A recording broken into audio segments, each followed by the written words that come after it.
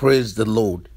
I want to talk about the power of sacrifice, the meaning, the mystery, and the making of sacrifice. And this is not the ultimate sacrifice that Jesus made on the cross of Calvary. This is totally your own sacrifice to fight your battle. That battle that has challenged your life, challenged the God in you, challenged your faith, and everything seemed not to work. Even everything they told you, the teachings you've received over the years, seem to have crumpled. You don't even know what you believe anymore. All you know is that you know whom you believe, in whom you've believed. All you know is that Jesus will not leave you nor forsake you. And beyond this point, an average pastor do not know what else to do. They have exhausted prayer, fasting, counseling, and sowing seed. And when they've done that, they don't know what else to do. And your case seems to have come to a standstill, or you don't even know what to do. And remember, I always say that people who don't know what to do either do nothing or do the wrong thing, which is an invitation for disaster because everybody's problem is a mountain of their ignorance. And you cannot go beyond the light or revelation you've received. Without revelation, there's no elevation. So today, we are dealing with revelation of the power of sacrifice. Well, you ask me, what about other giving I've been doing in the past? And this is where I answer your question. A sacrifice is very specific, is very direct. It's not your tithe, it's not your offering. Sacrifice is not your seed, it's not your regular or yearly first fruit. Sacrifice is totally different. Sometimes it's called your battle seed. Sometimes it's called sacrificial offering. Sometimes it's called accelerate sacrificial seed. It goes by different name, but you target it to a particular bleeding problem, intractable problem, or delay, or in an issue that has bugged you that you don't even know what to do anymore. And you've consulted preachers and everyone else, and they don't seem to help. You may even have gone through deliverance. And what I call deliverance circuit, going from one deliverance minister to the other, one deliverance program to the other, one big preacher to the other, and they cannot help you. Well, this is why I am doing this teaching right now about sacrifice. In fact, the more sacrifice you make, the more you rise and the greater you become as an overcomer. Sacrifice doesn't beg blessings and breakthrough to come. It compels and guarantees blessings and turnaround because of who God is. God is deity.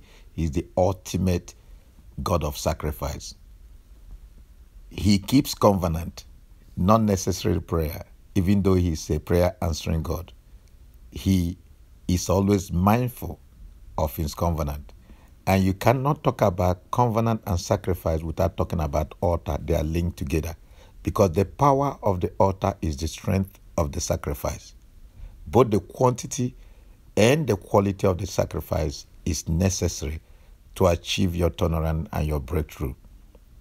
Sacrifice is something that is expensive to you, is costly, is there, is rare, is very valuable, and then it is something you drop at the altar of God with tears, telling God that I am dropping this, I'm giving you this, I'm offering you this, which is my valuable gift to you for a greater, bigger, higher, more permanent, and much more transcendent turnaround. Because you know that when the battle turns, it becomes your turn. When the battle turns, everything turns around for you. Favor comes, elevation comes, victory is guaranteed, increase, miracle, breakthrough, and what have you is guaranteed, child of God. What prayer cannot do? Fasting, counseling, prophecy, deliverance secured cannot do. Sacrifice does it without a, a hitch or hesitation.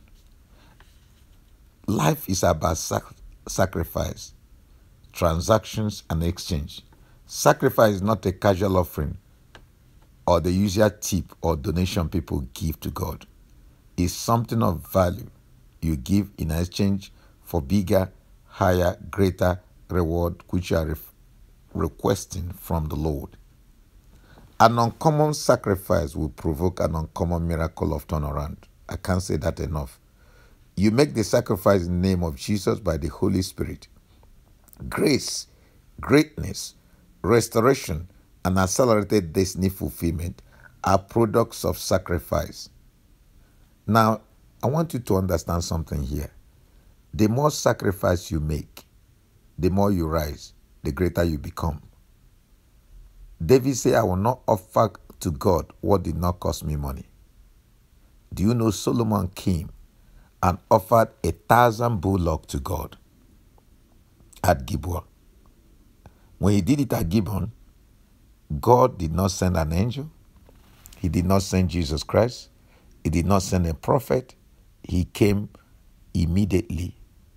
He couldn't even allow Solomon to sleep. He showed up by himself. You can imagine God tackling your problem by himself. Not through angel, not through prophecy, not through any other means, but by himself. Victory is guaranteed. No questions about that. So when Solomon sowed the seed, God showed up, gave him everything that he was looking for, his heart desire, and added more. And that's the strength and why sacrifice is necessary. Sacrifice can be the only thing that can save your life. I always hear people that tell me, Oh, I've prayed and prayed. I've gone to this preacher, I've gone to that preacher. The problem is stay there, where the answer is in sacrifice. As long as you are living in holiness, you are living in purity, you are living seeking God, your heart is in God, your mind is in God, you've done everything to obey God, and yet the problem is not solved. Well, try sacrifice. Should I say, don't even try. Trials are liars. Give sacrifice. Give again and give again, especially when it comes to family and foundational issues or witchcraft. Without sacrifice, you cannot do anything to excel, to succeed, or receive turnaround. When witches are involved, when wizards or cultists are involved, when marine altar, which is very stubborn, is involved, or that court case that has dragged, or child custody, or that paper that you're looking for, whatever that it is, or document that you are looking for, it's only by sacrifice that crank it open. Don't let no preacher deceive you. You must give something in an exchange for your sacrifice. You are not buying miracle. You are not buying blessings. Nobody can buy God or things of God or the blessings of God or God's victory or grace. Those are invaluable. They are priceless. You cannot get anything from God by trying to bribe God or give him a tip or donation. Radical problem demand radical solution. And sacrifice is the answer. Amen. Now, child of God, I want you to see this. Let's go to Psalm 50, verse 5 and 15. And I read, God is saying something here. God is declaring something. God is proclaiming something and affirming something and even asking himself and talking to himself. And let's see what he's saying and let's pick it up from the New King James Version in Psalm 50, verse 5. Gather my saints together to me, those who have made a covenant with me by sacrifice. Call upon me in the day of trouble, and I will deliver you, and you shall glorify me. Verse 15. In the place of sacrifice, we see God clearer. We enter more fully and more deeply into Him. We understand Him more. We place, position, and part in covenant with Him is made clearer and deeper and higher. And we begin to see and enact and appropriate all that He has provided and made available to us. You also understand, child of God, that you cannot walk in higher realms of dominion, divine promotion, and kingdom prosperity without sacrifice. Any major breakthrough in your life, a miracle of turnaround, is provoked by a painful sacrifice, not a casual offering. Like I said, sacrifice is not buying blessings or paying for your miracles or deliverance. It's a major part of your worship and dedication to God. Call it devotion, call it consecration, call it worship. No worship is complete without a sacrificial offering. If you offer God what costs you nothing, you gain nothing in return. And you know, people have this Western mentality whereby they think that everything is free. We call it the spirit of Araunah. David came to make sacrifice, and Araunah said, Take it free. And the, the king said, No, I cannot offer to God what did not cost me money. And he offered Araunah the due price of his land. And then from there, according to divine instruction, he offered sacrifice to God. And the plague was stayed. The people were saved. They received victory and turnaround and restoration. Now, you discover that sacrifice always provoke God. Sacrifice make God to open doors, open heaven. Angelic majesty is triggered. Why? Angels will begin to fight on your behalf. Angels are dispatched. Angels are released. Angels take their position. They fight your battle because God is on the scene by himself. And when God is on the scene, all the host of heaven all the army of heaven surrounds you, fight for you, goes for you, delivers you. So, child of God, if you understand how to fight altars or fight from God altar, then sacrifice is mandatory. Sacrifice is so powerful that it can solve any problem. But I always encourage people to make it specific, direct, and make it unique.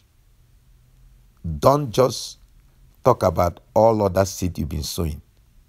If it's a specific area, a specific challenge, a specific problem, a precise issue that has bugged you, that has been a challenge, because God is very specific, God is very definite, God is very, very accurate.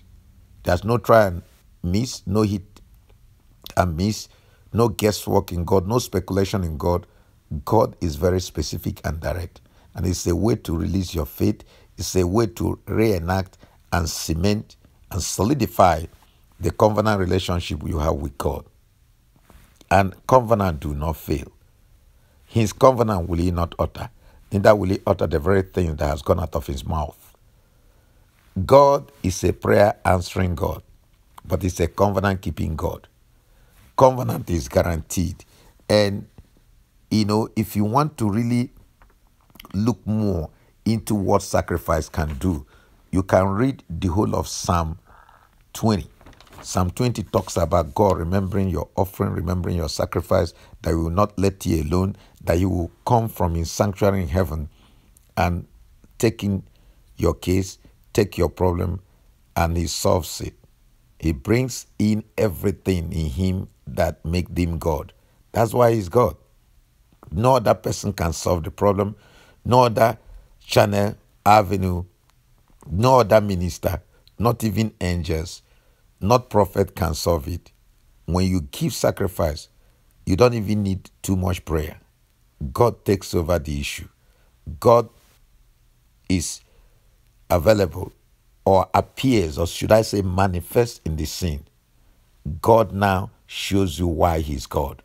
And that's why He's deity. He's the only one that demands, that requires worship, sacrifice, and covenant. Any other covenant is evil, is demonic, is ungodly. And it's funny, even the people in the demonic realm dominate the spiritual airwaves, dominate the search engine of the spirit realm, just like Google dominate that of the natural. But if you know how to set up altar and make sacrifice continuously, all the background problem, family issue, dream pollution, the demon still disturbing you in the dream will cease because God has seen your heart. God will thunder and defend you by reason of sacrifice. He will release the Holy Spirit, and your dream will be in the hand of the Holy Spirit under Holy Ghost envelope, under Holy Ghost security, under Holy Ghost protection, under Holy Ghost power and presence. When God secures your dream, no demon will mess with your dream life or your dream space or your destiny or manipulate your God given, God ordained plan and purpose. Thank you. God bless you, Dr. Uzo. We always have deliverance every Wednesday at 3.30 to 6.30 p.m. And then our location is 3565 Foster Road, Marietta, Georgia, 30008. God bless you. Bye-bye, Dr. Uzo.